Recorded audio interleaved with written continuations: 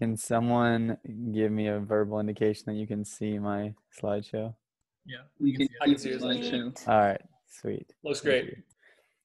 Okay. So, um, I'm gonna do my best to not keep everybody too late.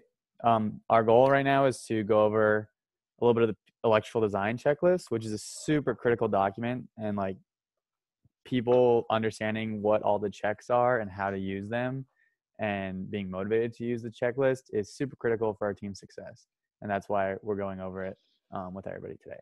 And so, um, I'm gonna give you a little bit context about what it is, and then we'll talk about um, some of the lines. And hopefully, if we have time, I don't want to give everybody too late, but I'm hoping we can do um, kind of an interactive session uh, going through the design checklist. And because we have a small number of people, that's actually gonna be kind of nice because you can get some one-on-one attention from an electrical lead, probably, um, or maybe one-on-two, something like that. Okay, so what is the design checklist? I'm actually gonna get out of the presentation really quick um, and show you the old checklist from when I was a sophomore.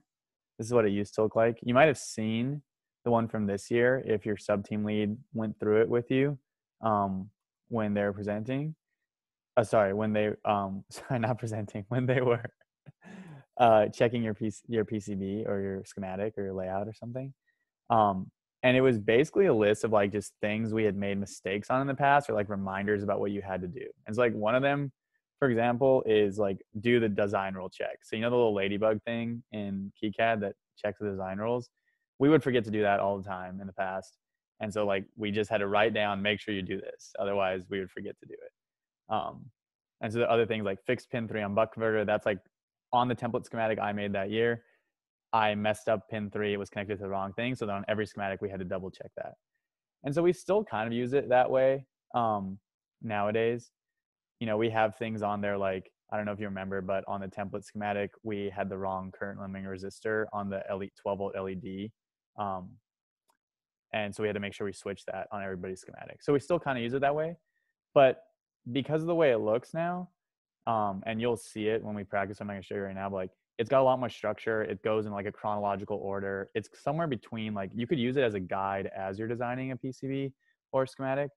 Um, for things you should be thinking about and but we also want to use it as a design review tool and so i'm to be talking about it mainly from the design re- review tool aspect but you could use it as a guide and some feedback i got from my sub team this year is it would have been super helpful to see the pcb design checklist before they had made their schematics and layouts so they kind of see it as they're doing it instead of just afterwards me telling them all the things that you know they didn't do that were on the checklist so that's something we can all think about in the future as kind of strategy for applying this um, when we're teaching people so one thing I want to talk about is what, what the mindset of someone of you, you what mindset you should be in when you're using this checklist to review someone else's work.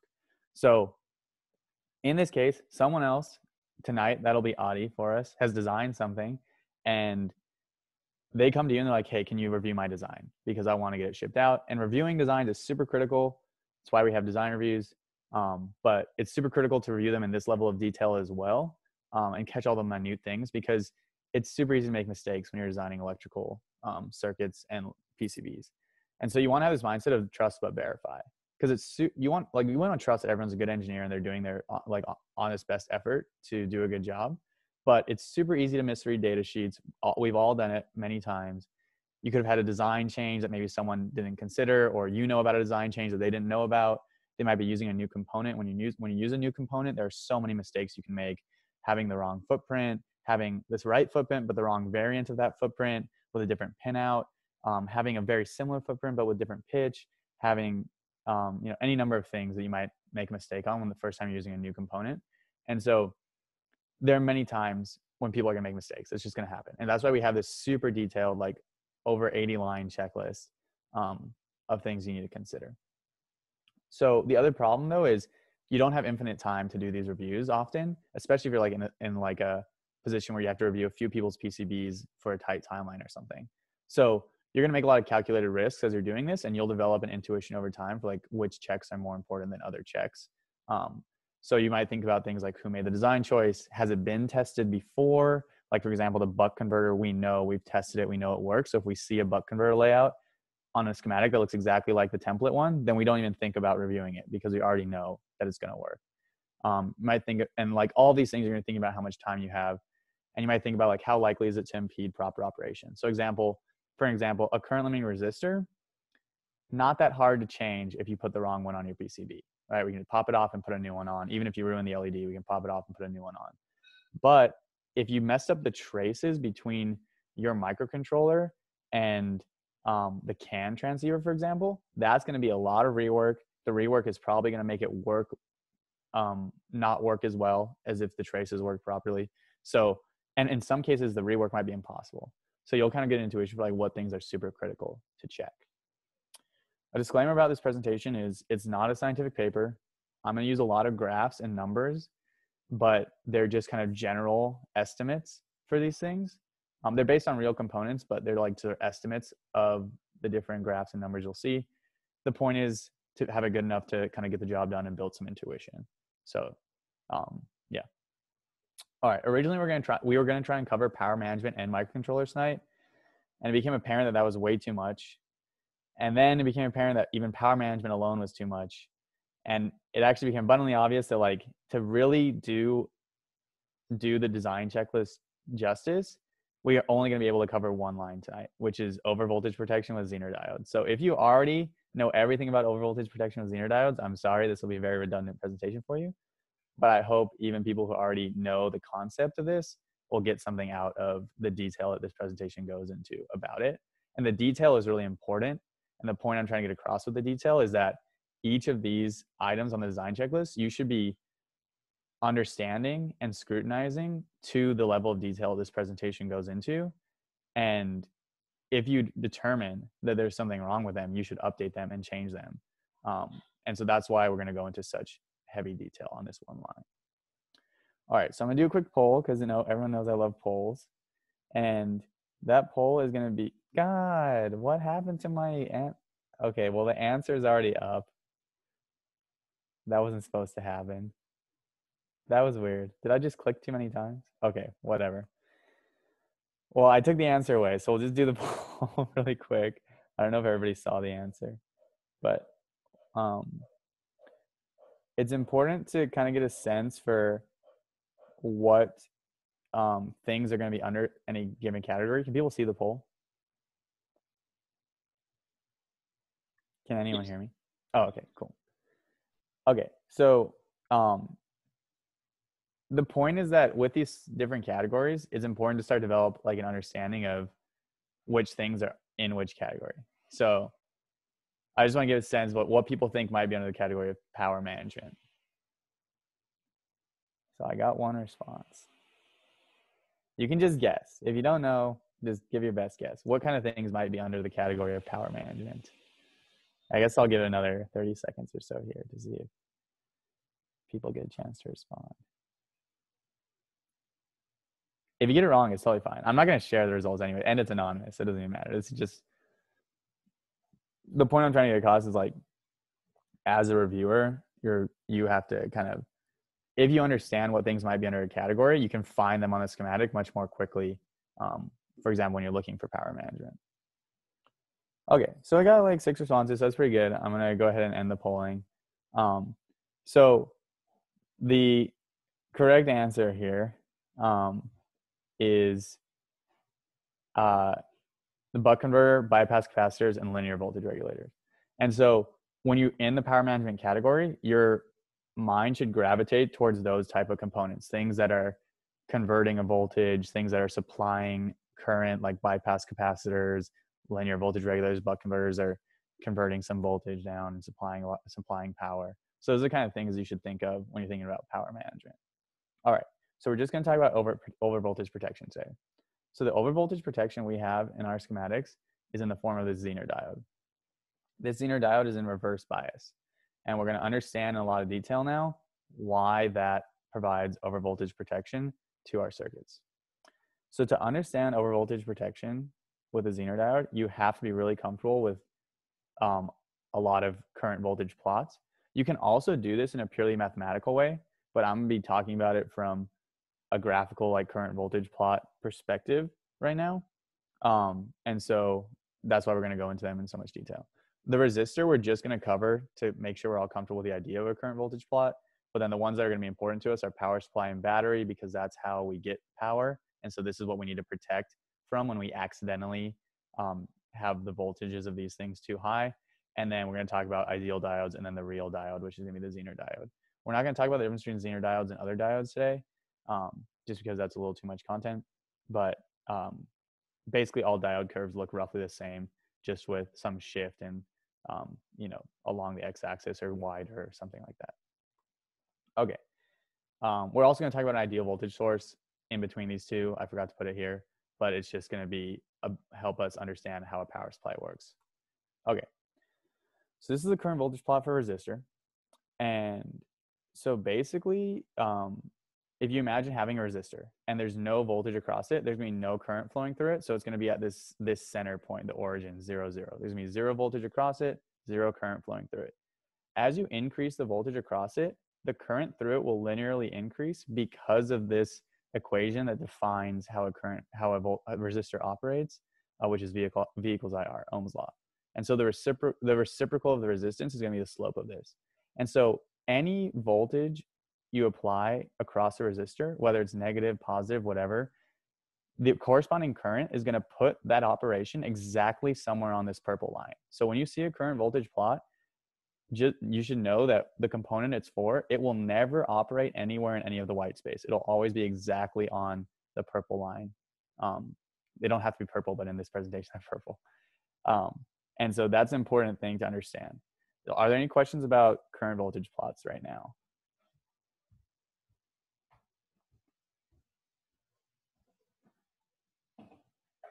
Okay.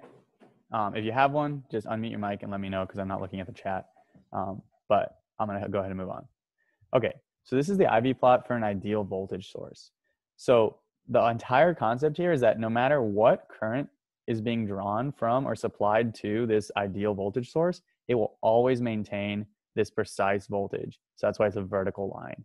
So it's completely irrespective of the current, whether it's being drawn from it or being supplied to it. This does not exist, but power supplies are actually pretty close to this with one kind of caveat that they have they'll have a current limit at which they'll be cut off. And then um, so we're gonna look at that right now. And then I'm also just not going to include the negative side because you would never supply current to a power supply, so it's just not applicable in this case. All right. So if you imagine you took this power supply down here, you've probably seen something like it or used something like it before, and you turn the voltage dial to set the power supply voltage to 40 volts and then you turn the current limit up to the set the current limit to one amp. Okay, you just set this up. So where we're sitting right now is right here um, at this point, which is on the voltage axis at 40 volts and no current being drawn. So zero amps of current because we haven't connected anything to our power supply yet. Now let's say we connect some load to our power supply that's um, less than 40 ohms. So at 40 ohms, right, because V equals IR, it's going to 40 ohms would draw one amp. So let's say we connected 20 ohms. So it's going to draw half an amp. We're going to be right here on the plot. We're still at 40 volts and a half an amp is being drawn. Now, if we, um, sorry, did I say 80 ohms? This is 80 ohms. I think I maybe I said 20 ohms, but this is 80 ohms. Um, so that's half an amp because voltage divided by resistance. Okay. If I reduce that resistance, it'll climb up this side of the plot staying at 40 volts, but supplying more and more current, climbing up the current um, axis until it gets to one amp. And then as I reduce the um, resistance more, it's going to climb along the voltage axis down towards, um, you know, towards a lower and lower voltage, but maintaining the current at one amp. So that's kind of how a power supply operates. Are there any questions about this IV plot? Okay. If you have questions, once again, just unmute your mic and let me know. Batteries, I'm not going to go into too much detail about how they work, but basically the idea is that I'm trying want you to get out of this is that the current voltage plot for a battery doesn't have a current limit like that. So batteries kind of have this more like dynamic range of voltages and currents that they operate at, but it's always going to be exactly somewhere on this line. But they do have the capacity to supply a lot of current, a lot more than a current limited power supply, especially lithium ion batteries have a super high um, like instantaneous discharge capacity. And so um, that's just something that's important to think about. I'm not going to go over why it looks exactly like this, uh, but it has to do with the internal resistance of the battery. Okay, so for an ideal diode, um, you kind of have two, there's two like main figures we're going to talk about, which is the breakdown voltage and the forward voltage. Now, in a second, I'm gonna get into a little more detail about what those two things mean. But ideally, for a diode, between the breakdown and forward voltage, it would not conduct any current. So it's always gonna stay flat on the voltage axis with no current being drawn from it or supplied um, by it or supplied to it.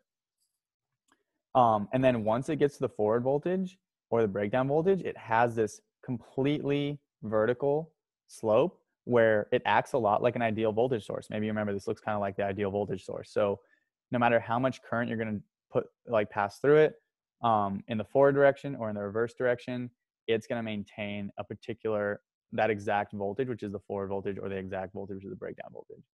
So in the forward region, that's like the diode. If you make a nice schematic with the power at the top and the ground at the bottom, so things are not upside down, then your diode's pointing down, right? This arrow that's part of the diode is pointing down towards ground. That's the forward region. And so as soon as V plus gets to the forward voltage, VF, um, the diode will conduct some amount of current um, depending on whatever the current capacity of you know your your voltage supply rail is. Now, if you flip the diode around and you're now in the reverse region, the operation is basically the same, but we call that the breakdown voltage. And so normally we think of diodes as like blocking current in one direction, like maybe it, allow, it allows current flow in this direction, but if you put it here, it block current. And that's basically true until you get to the breakdown voltage, at which point it starts to pass, you know, an infinite amount of current, however much you would have to, um, to maintain that voltage across the diode. So a real diode doesn't quite look like that. It's got some curvature to these lines. It's super steep, but not completely vertical. And so these are just some of the nuances that um, will give a more accurate picture of how the diode actually operates as we talk a little bit more about what happens when you use a Zener diode as overvoltage protection. Okay, so once again, a reminder is this is how we use a Zener diode in our circuit. We have some power supply so in this case, nine volts. Shout out to Luke, by the way, for the schematic. Um, and then we have some fuse, and then we have our Zener diode, and then the rest of our circuit is in parallel with the Zener diode. And the Zener diode is protecting all these components um, from overvoltage conditions. Okay. So this is an IV plot for the actual 18 volt Zener diode we use. Once again, this is not a precise IV plot. This is like my guesstimate of roughly how the IV plot looks based on my knowledge that the forward voltage is 1.2 volts, the forward current is one amp, and the breakdown voltage is 18 volts. So I've got that represented as a negative 18 volts here. Um, one thing to note is that the maximum steady state power is five watts. That'll come back much later in this presentation, but it's something to keep in the back of your mind.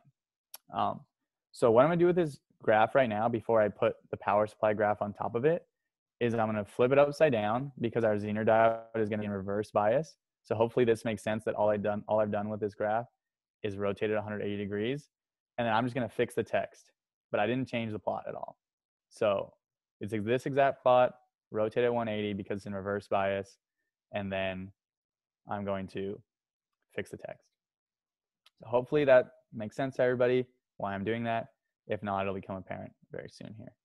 So now we're going to set up our circuit to test it. We're testing with a power supply that's represented by this circle here. And we wanted our power supply to be 12 volts, 0.4 amp current limit. That's a great setting for testing most of our PCBs. But as happens many times, you didn't check the power supply settings before you plugged in. You're like, oh, I just used this power supply 15 minutes ago. There's no way someone changed it. So you end up accidentally supplying 40 volts with a current limit of one amp, which is the power supply we're looking at before. And that's why we have the Zener diode here to help us protect our circuit. And so here's what happens now. So let's let's look at what that power supply, how that power supply is going to operate. This is just bringing back that power supply IV curve from before, and we overlaid it with the Zener diode IV curve in um, reverse bias. And so the Zener voltage, which is also the breakdown voltage in this case, is 18 volts. And so what actually happens in this circuit is it's going to operate at the intersection of these two lines. Um, and maybe that's a little bit intuitive too when you look at the graph. Like all like both of these components are always going to operate somewhere on their lines and so for them both to be operating at the same time they're going to have to operate at the intersection so that means whoops so that means that right here we're at 1 amp and 18 volts so 1 amp of current is going to flow out of the power supply 1 amp is going to flow into the zener diode it's going to make this nice current loop And if you put a multimeter across it, what kind, what voltage do we think we might see? Someone can unmute and let me know what voltage you might see across this circuit. Any ideas?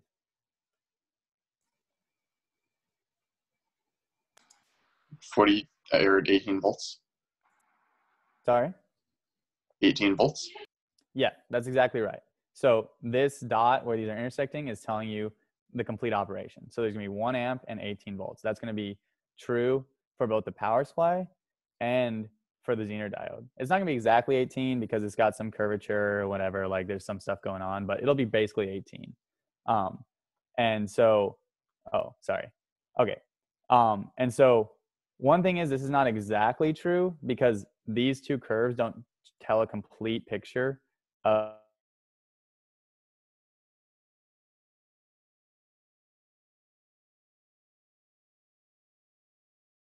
I think you froze, right? Yeah. Yeah, there's freezing happening. Lucky. Come back. Oh, it's lucky. Lucky the fallen soldier. Someone's gonna have to take over the presentation. All right. I nominate Luke. oh, you can probably do it, right? Yeah. Funny, funny. So, uh, can y'all? All right. So I'm just gonna talk through this, and hopefully Lucky reloads. If not, I'll share the presentation from my end. But looking at this graph, uh, this one amp. Oh, he's gone. All right. Um, the one amp figure doesn't tell the whole story, and that's because there is some current being um, provided to the load. Um, let me pull up the presentation real quick, and I can continue from there. Here, I can pull it up if you want. Uh, sure.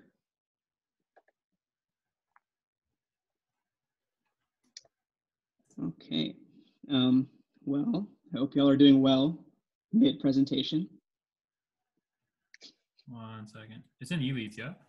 Have you guys heard about the story about the tractor and the Uh, extractor fan? Manu, Manu, I have it. Yeah, cool. Yeah. Oh, it's in spring learning. My bad. Yeah. But your Um, tractor story.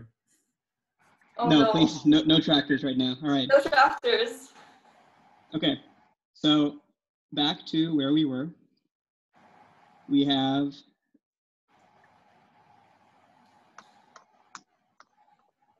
we have uh, so this doesn't tell our whole story because there's more than one amp being uh, that's needed. There's some load that the circuit is providing. So let's just pretend it's 300 milliamps in this case.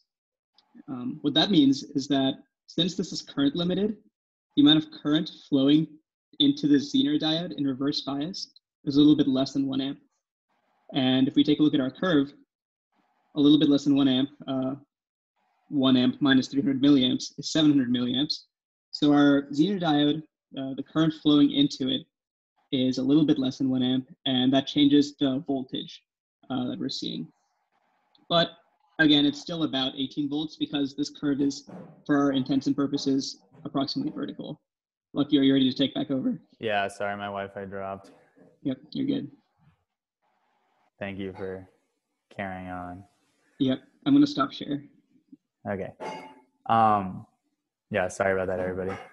Uh, okay, so, um, okay, so hopefully we're kind of comfortable with that concept. Um, and so, yeah, sorry, I think we're kind of here at this point, right? So, okay, so basically we're going to see 18 volts across circuit. It's not going to be exactly one amp through the uh, Zener diode, um, just because of the rest of the circuit drawing some current as well.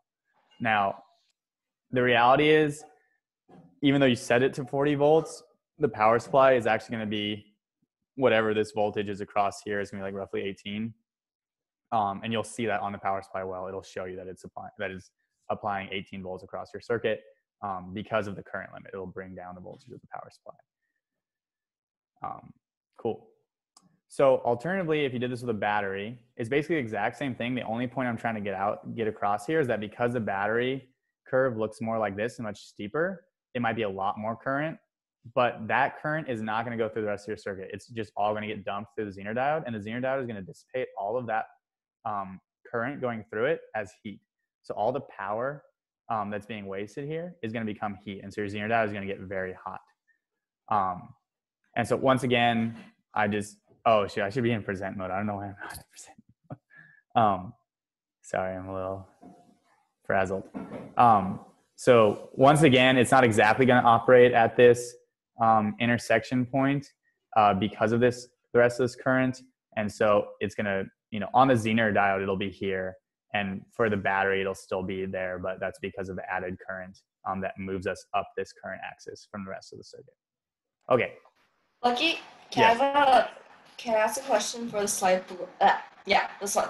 So, what determines the split from 2.7 and the 300 milliamps? So in this case, we're assuming that whatever this rest of circuit is at Mhm. this like roughly 18 volt figure just always draws 300 milliamps. So Okay. for example, if you do 18 volts divided by 0.3 amps, that will give you some resistance value. So if this was just a resistor um, of that resistance value, which is 18 divided by 0.3, I don't know what that is off the top of my head, something like 54, a little more than 54, I guess. Um, so if you have like a roughly 54 ohm resistor or something, that is an example of something that would draw 300 milliamps at this like roughly 18 volt figure. Um, so yeah, it just so this is going to be fixed likely this like 300 milliamps, and then whatever extra current is going to go through the Zener diode. That makes sense. Cool. And that's why you can see like in this example, right? The the current through the rest of the circuit's the same, and the Zener diode just eats whatever extra current is coming out of your supply to Mm. to limit the supply down. So in this case as well, and I forgot to add the slide, but you can imagine crossing out the 40 volts here, and your battery is actually like if you measured your battery voltage in this case, it would be 18 volts, um, because the battery voltage is going to sag a bunch um, when it's supplying this much current. Okay, Yeah, makes sense. Cool. Um, sweet. And once again, these are just like kind of made up numbers. A 40 to 18 volt sag is pretty outrageous for a lithium ion battery and probably would be damaging to the battery in that case. But instantaneously, it might, that maybe that actually happens. I'm not sure. All right. So Anil's laughing at me because he's right behind listening to me talk about batteries. Okay. So in both of these cases, something we need to consider. So it's not enough to just know that Zener diodes regulate voltage. We have to really consider what's happening. So we know that the maximum power, constant power from before is five watts for the Zener diode. And in both these cases, we're actually going to be drawing a lot more, we're going to be dissipating a lot more power than that. Because if we look at the power through the Zener diode on this side, on both sides, we're going to have 18 volts. So power is equal to current times voltage is what this first equation is here. Hopefully that's a concept people might have seen before. And so you just multiply the current through your Zener diode by the voltage across it to get the power it's dissipating. And so you can see the voltages are the same in both cases, roughly 18 volts. And on the left here, we have the 700 milliamps. And on the right here, we have the 2.7 amps. And so that in both cases, the power it's dissipating is a lot more than the five watts that it's constantly, and Neil, can I have your charger? Um, that it's constantly rated for. And so what that means is that what's actually going to happen is it will, it will protect your circuit for a little while until it gets too hot and the Zener diode breaks, and then it's going to stop protecting the circuit, and then your circuit's going to get ruined.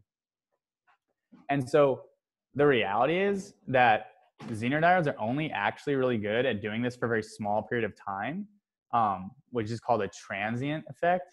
And so I know this isn't the best image, but it's just one I found online that I kind of liked. So if you have like a relatively constant V in, that's like the right value, like 12 volts in this example for our circuit, and then it just has this like random transient spike that's just like really instantaneous.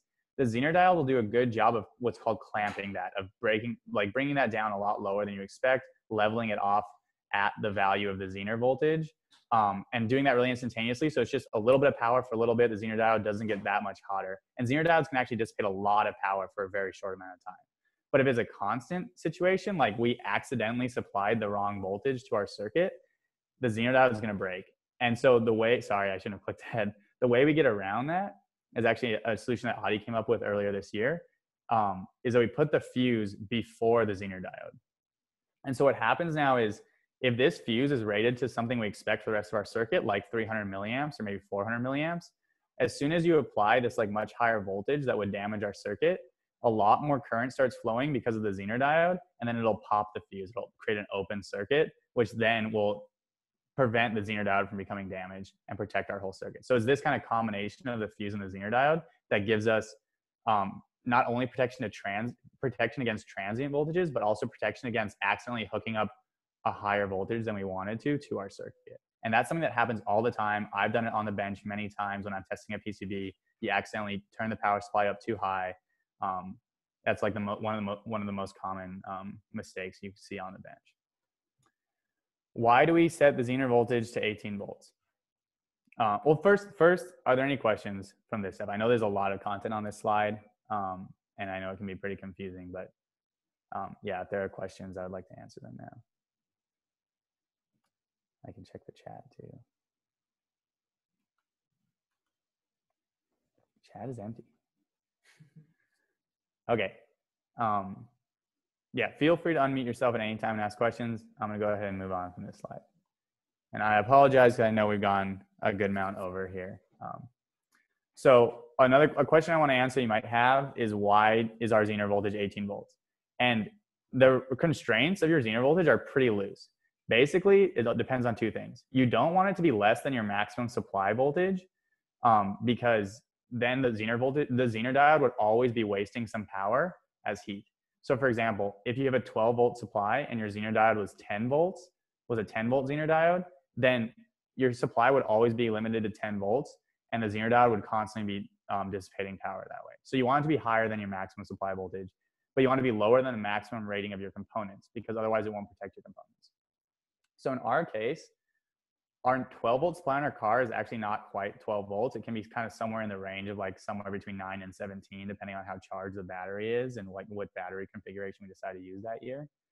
And our buck converter is really the only thing that really needs to be protected by the Zener diode, and its maximum supply voltage is 36 volts. And so 18 is somewhere in that range between 17 and 36, so we're good to go. Um, and so that's the gist of how you might pick the Zener voltage and how you might evaluate someone's choice of a Zener voltage um, when you look at their schematic. And I guess the point I want to get across here is not enough to just think about the nominal value. Like if their schematic says 12 volts, you want to question that. Say, is it exactly 12 volts? Is it ever more than 12 volts? How do you decide is your Zener voltage high enough? Um, and you need to know what the maximum supply voltage is. Um, cool. And yeah, I guess uh, one kind of question that hopefully it will show some, demonstrate some small amount of learning from the presentation is if you can tell me in this circuit uh, whether the Zener diode is in forward or reverse bias. So you can go ahead and just fill out this really easy, not necessarily easy, but really simple poll really quick. Um, and don't feel bad if you get it wrong, it's totally fine. Um, takes a long time to get really comfortable with this stuff. Okay. So far, everyone has been 100% correct, which is awesome. I'll go ahead and end this poll. Um, but yeah, so that is that is kind of the long-winded explanation of how Zener diodes provide overvoltage protection and how they can provide that protection to constant overvoltage if you put them in series with a fuse, um, like like uh, like Luke's schematic is here. So actually, if you look at a lot of our schematics from this year, the fuse is on the other side of the Zener diode because that's how we used to do it, and that was a mistake. And that was a good catch that Adi made this year when he was, you know, kind of going through some of the electrical design checklists. And so you kind of want to be reevaluating these checks all the time. Um, and yeah, uh, cool. Are there questions here? This is the feedback link. Um, if you want to give feedback on this presentation, I'm sorry the Wi-Fi dropped and I got a little bit kind of frazzled afterwards. Um, but yeah, I'm happy to answer questions right now. Um, this is the feedback link. I'll also put it in the chat. Um, but I'll go ahead and stop sharing my screen so we can look at each other. And then, um, yeah, if there are questions, I can go ahead and answer them now.